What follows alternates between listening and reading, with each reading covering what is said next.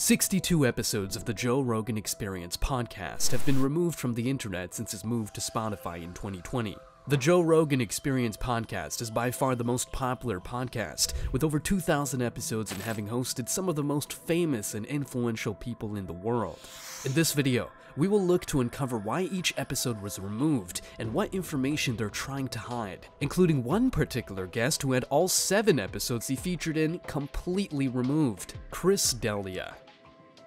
Let's start with the most recent episode to be taken down, which was episode 1458, with Chris D'Elia in April 2020.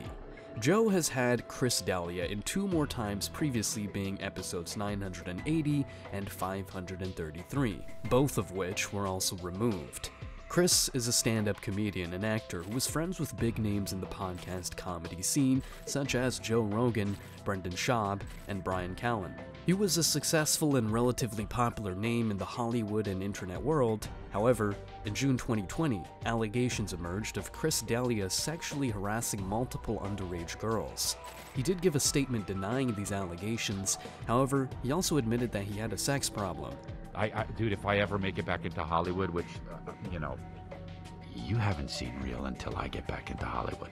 These allegations were right before Joe Rogan's move to Spotify in December 2020, and consequently, none of the three episodes were moved over to Spotify. As I'm watching this happen, I don't know what to think and I don't know what to say. I don't. Um, but I have, I'm going to say it again. I have personally never heard or seen him do anything illegal. That's all I can say, and right now I have to believe that. Legal information around the case was never released, however, Chris D'Elia was never convicted and still posts regularly on his YouTube channel named Super Good, which has nearly 600k subscribers. However, Chris D'Elia was blacklisted in Hollywood after the allegations, completely putting his acting career on halt and losing his popularity on social media. There's also speculation if Joe Rogan and his friends in the podcast scene knew about D'Elia's activities as they did seem close. Since this incident, Joe has not mentioned anything about this apart from when Theo Von made a remark about the situation in a recent episode. Huh, that extra 12 months makes a big difference. If you're 20 and she's 17, people will get very upset with you, even in places where it's legal, where, where it is legal in a few places, which is kind of weird. Yeah, and if That's you pretty are 35 and she's 17, you can't be a comedian anymore. I'll tell you that. That's- Are you sure? I don't, you know, I don't know. I don't know. Who knows? I mean, who knows, bro? Who knows? I don't know. Alex Jones. The next most recent episode to be banned is from the infamous Alex Jones with episode 1255 and 911, with Eddie Bravo both being banned. Alex Jones is the host of InfoWars, a radio show based around conspiracy theories, with his appearances on Joe Rogan setting the internet alight. I'm kind of in that The episodes still remain on YouTube as they are all very popular. Alex Jones is an extremely controversial figure and has always battled deplatforming. However, he's also a very popular figure. Episode 1255 has 33 million views, being the fifth most viewed JRE episode on YouTube. Moreover, there is some validity to some of Alex Jones' claims, such as when he predicted the Twin Tower explosions. We know the government's planning terrorism. We know Oklahoma City and World Trade Center was terrorism. We know the Joint Chiefs of Staff wanted to blow up airliners, Baltimore Sun. If you do it, we're going to blame you because we know who's up to it. Or if you let some terrorist group do it, like the World Trade Center, we know who to blame. And if there was an outside threat like a bin Laden, who was a known CIA asset in the 80s, I did two and a half hours specifically saying they're going to blow up the World Trade Center. Call the White House, tell them don't blow up the World Trade Center. Or when he uncovered a satanic cult. Alex Jones, he's he's made some mistakes and some big ones, but he's also actually exposed some real shit, and he owns up to the mistakes he's made. They're not good. He doesn't think they're good. The, there's a thing about finding conspiracies everywhere that's not good for your brain. I really believe this. I think that if you go looking for those things and that's all you look for, and you look for them all the time, you can get real paranoid and real crazy. And then uh, there's also a bunch of people that are trying to stop you from doing that because you do expose some crazy shit. Yeah.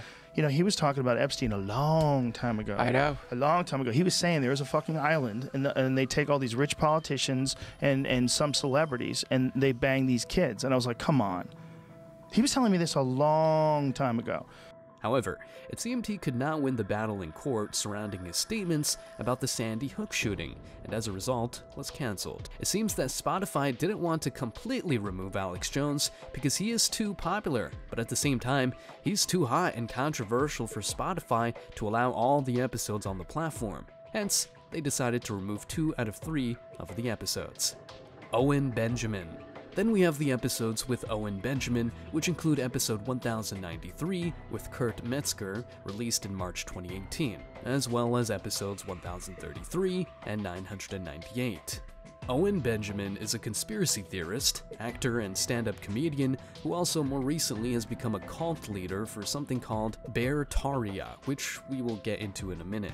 Owen was first cancelled and blacklisted in Hollywood in 2017 after he disagreed with a prominent figure in Hollywood who said it was fine for their three year old son to transition to a girl and planned on giving him hormone changing therapy. However, soon after he began to go on a free speech crusade and essentially tried to be as offensive as possible on Twitter and other social media platforms.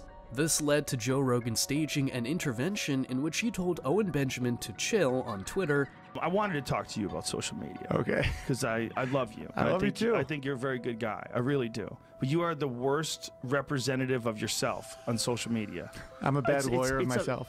it's a bad form of getting out tricky ideas. It's a bad form. It's just Right. not good. You know, you have to really think about what you're saying. However, this ultimately fell on deaf ears, and in May 2019, Owen Benjamin was banned from Twitter and also demonetized and restricted on YouTube, and hence, when Joe moved to Spotify in 2020, none of the episodes with Owen Benjamin were moved over. He also started to really go after Joe Rogan, and it seems like he's honestly gone insane. How can you follow Joe Rogan? He's five foot six. What leader? If I was standing in front of Joe Rogan, I would think he disappeared. I would be like, "Where's my friend Joe Rogan?" And someone would be like, "Way down there." I'd be like, "Where? No, like men are right here. Like, where's Joe Rogan?" He currently is a cult leader for Beartaria, as mentioned, which seems to have its own compound and is hosting his own musical festival. The cult seems to be based around flat Earth, anti government, and crazy conspiracy theories. Here's a clip of Joe Rogan talking about his friend who has gone insane and is very likely talking about Owen Benjamin. When we give Owen, what did he give Owen? Oh, I think just one. He ruined his But life. it would have been about 200 to 250. Yeah, Yeah, he- Ruined I his think I heard that the guy podcast. He was saying, like, opened the door and went out. Uh, Joey made a video, but the, the, the day changed Owen's life. Like literally, f- the guy's head up. Like he went outside and he vanished. He's gone. Owen, we feeling all right? We're- Yeah, I'm just- going just- to get some air. Yeah, nah, I'm, I'm, I'm fucking crazy high though. Okay, you want me This to? You want more more water? Yeah. Okay, thanks. let's do some water. Yeah, you just Oh, relax. man. This is the devil here tonight. Get some air right there. Get some air on the balcony, and take your water with you just in case you fucking, uh, you know, you want to dehydrate a little bit. You'll be all right. This happens. This day I had to do a thousand things, little stupid. he abandoned shit. Sargon of Akkad.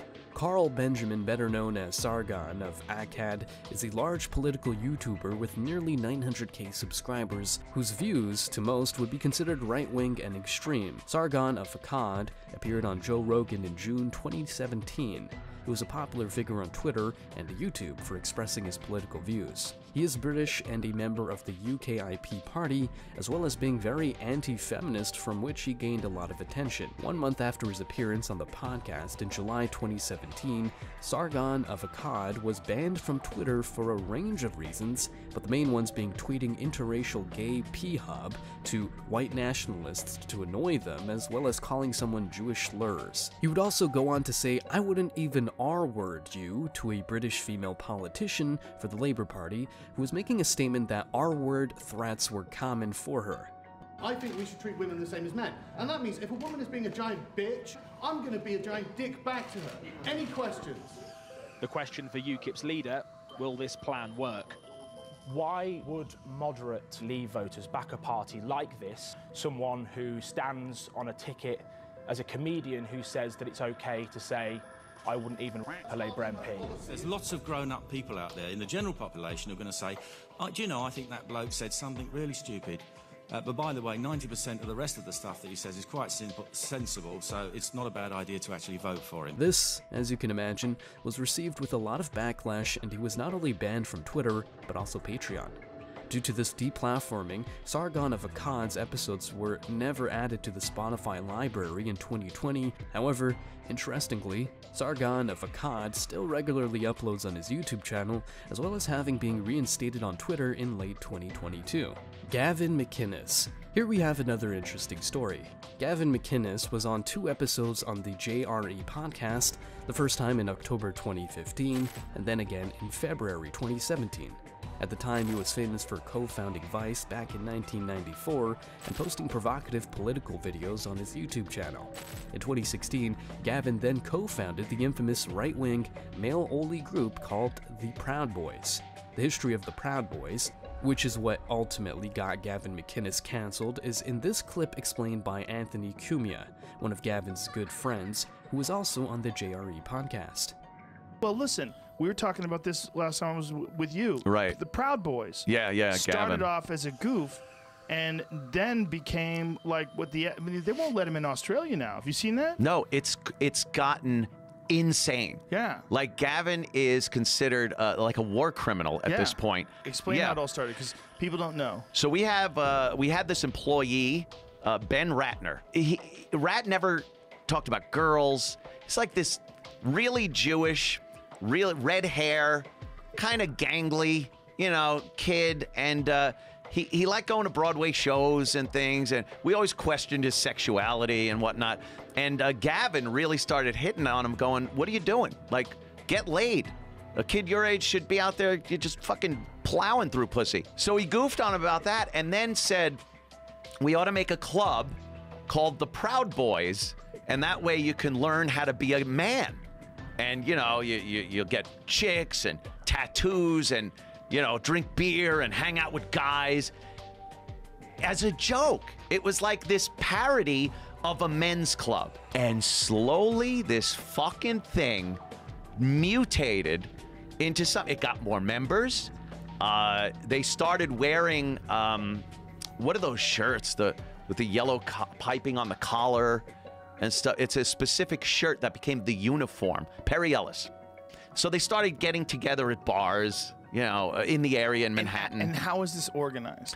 This is this organized through his Compound Media show? through the Compound Media Show So and was- his own Twitter account and and Facebook, which he subsequently lost. But that's how it started. And it never was supposed to go any further than that. This whole thing with uh, politics got involved because Antifa, which is anti-fascist, started uh, uh, coming into uh, conservatives that wanted to, to speak. So Gavin was a conservative, he is a conservative. He'd get uh, speaking engagements at schools, and Antifa would show up to protest him and try to shut down the event. So then the Proud Boys would go and protect Gavin. So then it turned into this because they're fighting with Antifa, they must be the FA, the fascists, Right. the Nazis. Um, and once that gets out there, there's no pulling it back. Consequently, as the Proud Boys grew and Gavin was labeled as one of their leaders, he was completely deplatformed in 2018. Gavin resigned from the Proud Boys in 2018, realizing he had gotten out of control, but the damage was already done. And in 2020, when Joe Rogan moved over to Spotify, both episodes were not moved over to the platform. Milo Yiannopoulos. Milo Yiannopoulos began as a journalist and gained traction working for the far right website called the Breitbart News. Milo was first banned from Twitter in July 2016 for multiple reasons explained by the Twitter execs on the JRE podcast. He also uh, docked someone. He posted um, private information about an individual. So that was the second one. Mm-hmm. He tweeted to somebody else um, If you were my child, I'd have dashed your head on a rock and tried again, which we viewed as a threat. And then the last one, we found um, a bunch of things that he posted that we viewed as incitement of uh, abuse against Leslie Jones. The reason for Milo receiving large backlash outside of his standard right wing views was when he said often that sex with 13 year olds can be beneficial for gays in early 2017, which Milo did later apologize for. However, following this, he had to resign from his position with the Breitbart News and consequently has become a lot less relevant in political conversation due to this in combination with his ban on Twitter.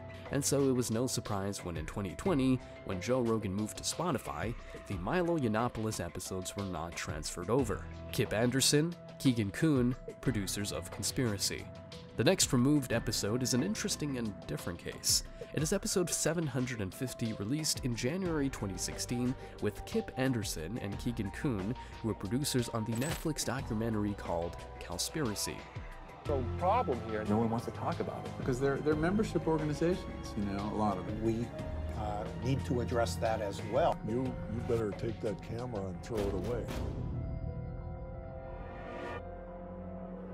Cowspiracy is about how the government and environmental organizations are blaming the climate change problems mainly on fossil fuels and are not mentioning the huge problems caused by agriculture and overfishing. Now, as you might imagine, this is not controversial like many of the other removed episodes. The reason for this episode being taken down is more unclear than the other previous episodes mentioned. Here are a few theories. Number 1. You go full conspiracy theorist and say that Spotify did not want to promote vegetarianism because they are in bed with the meat industry. Now, this, in my opinion, is unlikely because there are other episodes on Joe Rogan that promote vegetarianism, and also the documentary is still on Netflix, so it's not like this documentary has been removed from the internet.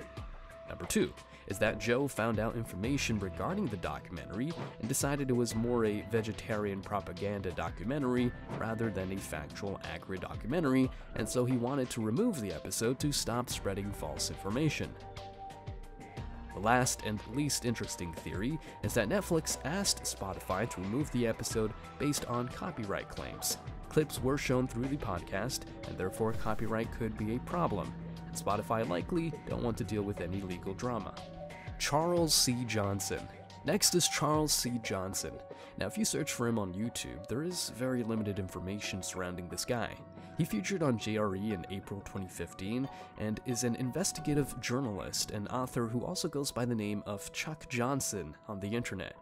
On the Joe Rogan Reddit, there seemed to be a lot of dislike for Charles C. Johnson, and this episode in general, as well as it alleged receiving a 50 to 50 dislike to like ratio at the time.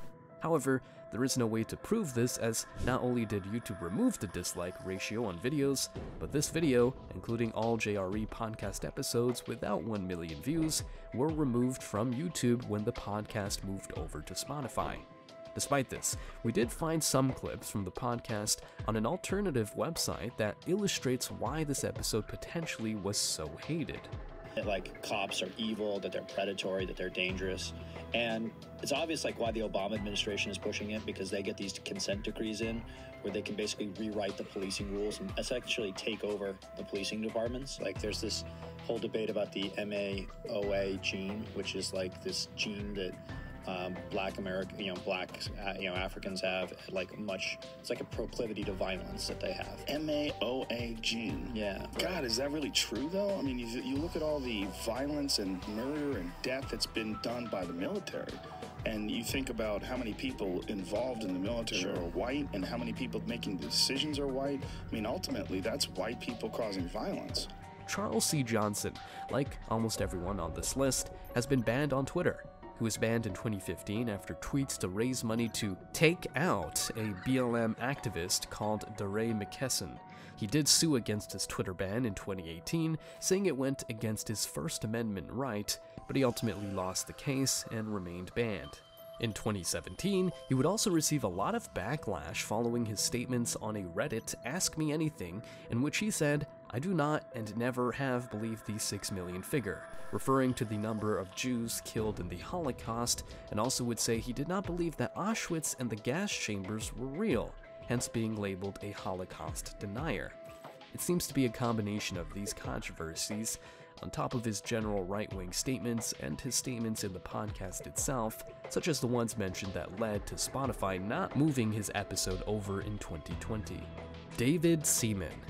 David Seaman has had the most episodes removed by far, with seven episodes not being added to the Spotify library as we go further down the rabbit hole and we uncover more older videos that have been removed. It becomes very hard to find information about these guests. For example, you will find no actual clips from this podcast on the official JRE Clips channel, despite David Seaman being on seven times. Regardless, David Seaman was a journalist and writer covering mainly on topics such as technology, finance, and news.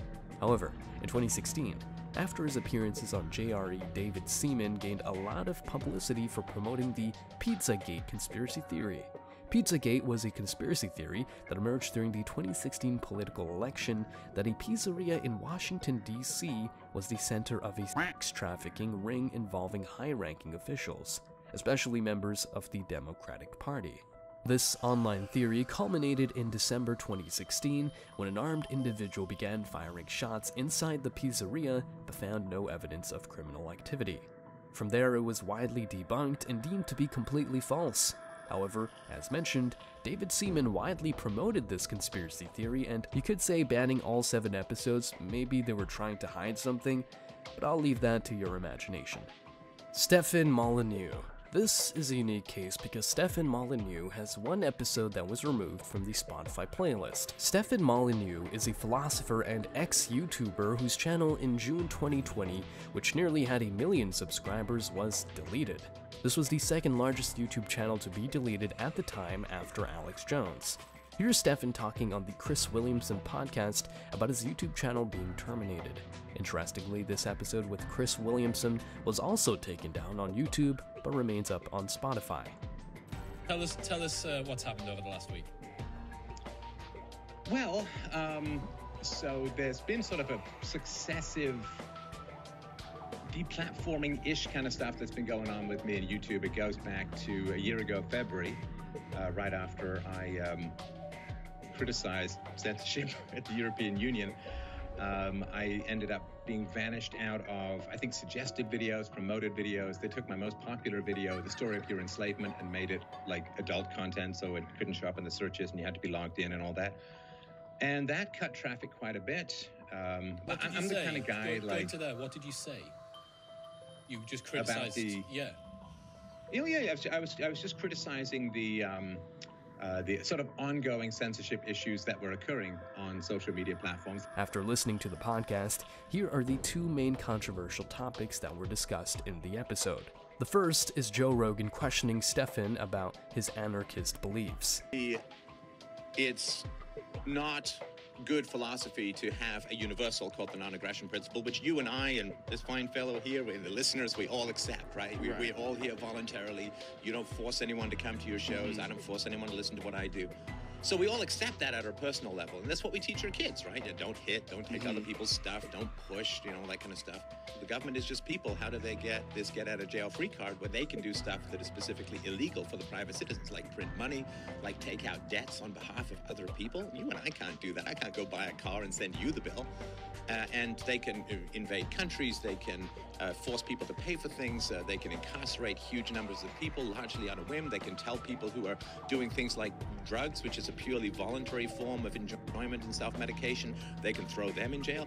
I- I can't do that. You can't do that. If I want to pay for my kids' education, I don't get to walk up and down the street with a machete saying pay or die. I mean, but this is the way that we've set up, or the way we've inherited society. Sorry, I don't want to go on too big a rant. No, but it's a good rant. It's that it's a good point. Secondly, Joe questions him around his misogynist claims, in particular that women are responsible for crazy men, as the women choose to breed with these males. But you said some stuff uh, about women that I have even disagreed with.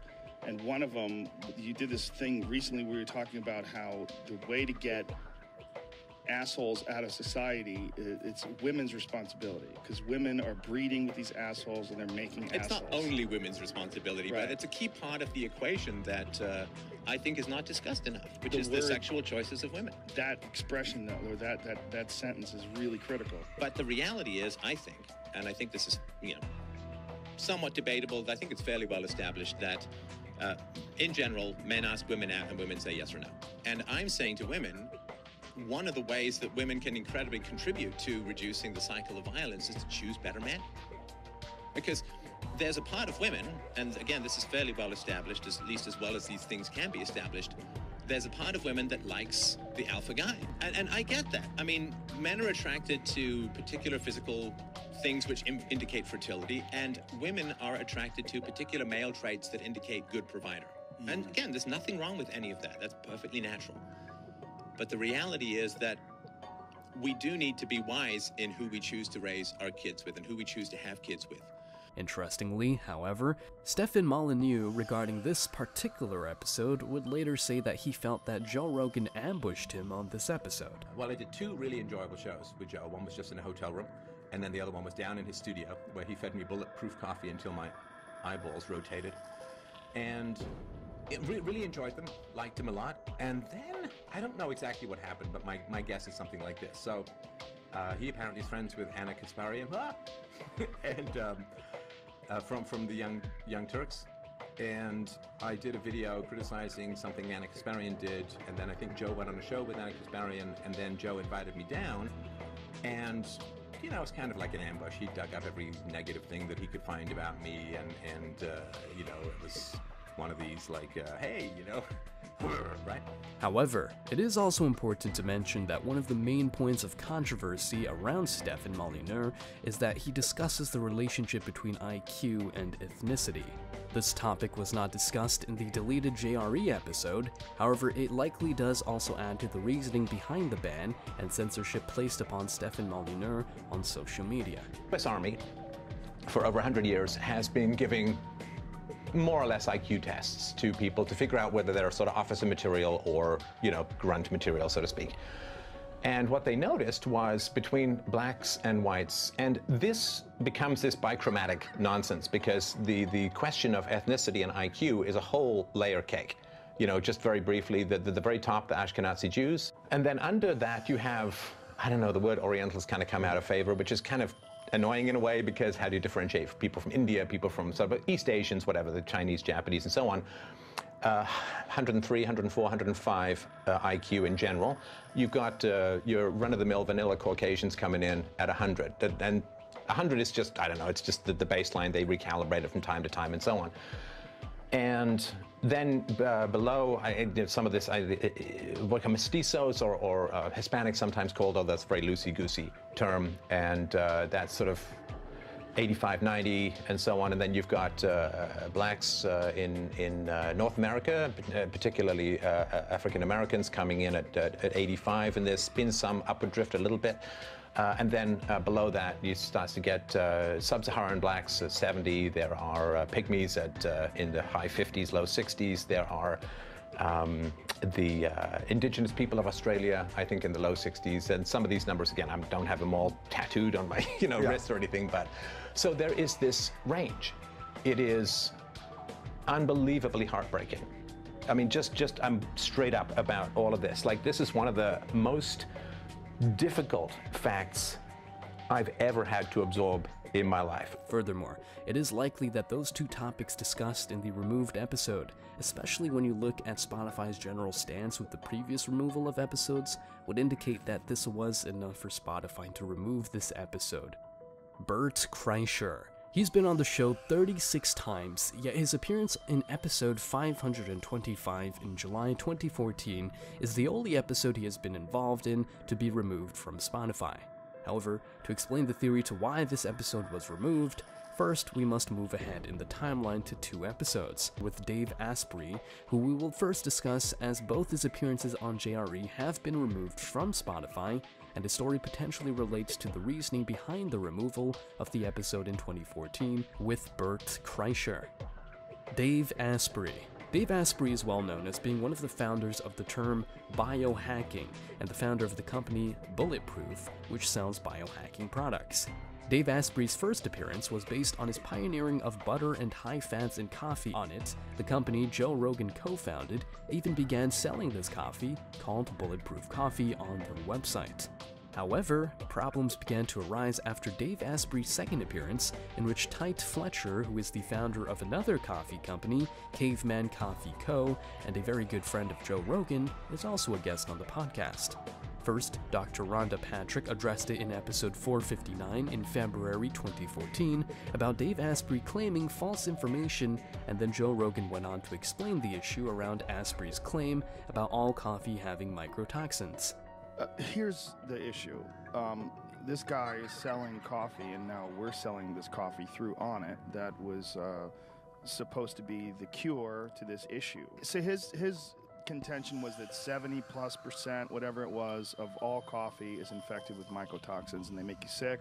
They make the coffee taste bitter. They make you taste bad. You know, they make you feel bad. I took too much of this at face value and parroted a lot of the things that he said, and then we decided to start looking into it ourselves. Well, they've known about mycotoxins in coffee for a long time. There's a PubMed study from 1980 about Mhm. mycotoxins in coffee. It's always been an issue, but they've been able to resolve that issue with wet processing. Uh, wet processing, the they know how good coffee providers know how to eliminate this from coffee. We tested four random coffees. Well, two random. One Starbucks, one random bag from Whole Foods, uh, one coffee that we sell, which is the upgraded coffee that Dave produces, which is good coffee, good single source coffee, and another one called Caveman Coffee. None of them tested positive for mycotoxins. And so, well, 70% of all co- coffee has mycotoxins, and we had three bags other than the upgraded coffee, none of them are taking his upgraded, quote unquote, bulletproof process, which he won't resolve, you know, he won't reveal what this process is publicly. And so I, I kind of feel like it might, there's some bullshit. Then, going full circle to the Bert Kreischer episode, Joe went in again on Dave Asprey regarding the mycotoxins in coffee. So, what Asprey was telling us was that his coffee was uniquely free of mycotoxins, and that mycotoxins were what give people headaches, mycotoxins would cause you to crash, all these all these different things he was attributing to mycotoxins. And he was even saying that. Point being, here's the point: he had no tests. He wasn't showing us anything. Like like he was saying that all these different coffees have mycotoxins. It's a real issue. No one talks about it. But when you start reading about it online, you I found out that this wasn't an issue at all. Like This paints the picture of the fractured relationship that formed between Joe and Dave Asprey. Moreover, it is supported by the fact that Onnit no longer sells any bulletproof products on their website. Now, due to this fallout between Dave Asprey and Joe Rogan, it is likely the reason for both episodes being taken down is that Joe didn't want to spread misinformation supporting a product which is claiming benefits that is not scientifically proven. Moreover, it could also be that Dave Asprey wanted to have the Bert Kreischer episode removed to protect his brand and reputation. That is somewhat of a long shot of a reason why the Bert Kreischer episode was removed, but it is interesting how Joe went in hard on Dave Asprey in that episode and that now it is removed. Louis Theroux. This episode was another big one to be removed from Spotify. Here we are talking about Louis Theroux's first appearance, episode 463 in March 2014. However, his second appearance in August 2016 is still up on Spotify as well as YouTube with 14 million views. Louis Theroux is a filmmaker, journalist, and broadcaster best known for his documentaries in the television series Louis Theroux's Weird Weekends, which is when Louis explored various subcultures in the USA, and When Louis Met, which is when Louis would embed himself and extensively interview and document famous people such as Jimmy Savile or boxer Chris Eubank. There are two theories behind why this episode was removed. The first and more likely one is that during the podcast, they played a load of clips from Theroux's documentaries, with much of the rights being owned by the BBC and not Theroux. Hence, the BBC likely got the episode removed based on copyright. The second and far more interesting but less likely reason is the conspiracy route. First, they spoke about Jimmy Savile and Jerry Sandusky, followed that whole thing about that one guy who was that famous talk show host. Jimmy Savile? Yes. Wow. That is fucking crazy. The guy was a pedophile, and apparently for decades, and it was covered up, much like the Jerry Sandusky case in America. For, for a lot of folks are aware of that. The Pennsylvania State, uh, the guy who was a coach, football coach, who was a, just a massive pedophile, and they covered it up. They covered it up so much so I don't know if you you're familiar with that case, but the DA, the guy was a the prosecutor was trying to try to find out information. He turned up missing. He turned up missing and they found his laptop in a river with no hard drive. The second conspiracy ripe topic discussed was the JFK assassination and the Zapruder film. He explained why he believes there were multiple shooters. uh, Zapruder, uh, and it's the execution of President Kennedy. I never seen that before. Really? Yeah. That's You've amazing. never seen the Zapruder film? Uh, just like the bits they showed in JFK, you know, the Oliver Stone film. Ah, yeah. I had never, s- I'd never seen. I don't think they showed that bit. Finally, they discussed Ted Nugent, who is a famous musician and political activist. Ted Nugent has also faced allegations of sexual activities with underage girls. One of the guys they questioned in connection with threats to the president was Ted Nugent. Did you know that? Question with He was actually for statements that he'd made I About Obama. He got a yeah about Obama. Yeah. He got a visit from the Secret Service. Yeah, he said that he would wind up in jail if uh, if Obama was uh, elected again.